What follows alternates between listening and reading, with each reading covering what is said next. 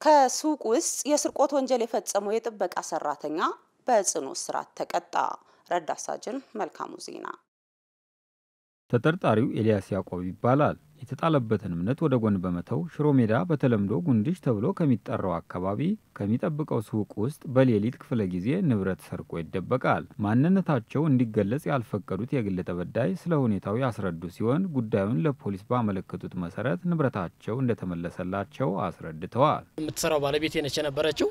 እሷ ሱቅ ስትገባ ሱቁ መደርደሪያው ባዶ ሆኖ ታገኘዋለች። ደውላልኝ አይ ሱቁ ተዘርፏል ና ምናምን ስትለኝ ተመለስኩ ማለት ነው። ወደ ሱቅ ሲሄድ ሰው ሁሉ ተሰብስቦ ምናምን መደርደሪያውም እንደዚህ ባዶ ሆኖ ምናምን አገኘውኝ። ከዛ ለፖሊስ ይህን መረጃ ከሰጠው በኋላ እቃው አለ ከተባለበት ቦታ ጥቆማ ከተሰጠበት ሂደው ይዘው መጡ። እኛ sample እቃዎቻችን የተወሰዱብን እንደ አጋጣሚ ፎቶ ስለነበረ ባለቤቴ አሳየች። እነኝ ነኝ ነኝ ናቸው የምንፈልጋቸው እቃዎች ከተወሰዱት ከብዙዎቹ sample እነኝ ነኝ ብሎ ፎቶ አሳይታለች። ሲመጡ እቃዎቹ ፎቶ ላይ ያሳየናቸው እቃዎች ናቸው። ከግል ተበዳይ አቤቱታ የቀረበለት ፖሊስ ምርመራ ሲያጣራ ወንጀሉን እንደፈጸመው የጠቆሙት የመነን አካባቢ ፖሊስ ጣቢያ ወንጀል ምርመራ team ኃላፊ ኢንስፔክተር ታዲዮስ ወልድ አረጋይ ንብረቱን በክትትል በማስመለስና በቂ ማስረጃ በማሰባሰብ በአቃቢ ሕግ ክስ እንዲመሰረትበት ማድረጉን ተናግረዋል። ጣቢያ ላይ ቀርበው ባለጉዳዮቹ ያመለከቱት ንብረት እዛ ቤት ውስጥ ተገኘ። እሱን አያይዘን ወደዚህ የመጣንበት ሁኔታ ነው ያለው። አፈጻጸሙ ሁኔታ እንዴት ነው? ሌሊት እሱ ብቻ ነበር የሚጠብቀው። ያንን ጥበቃ በሚያከናውንበት ሰዓት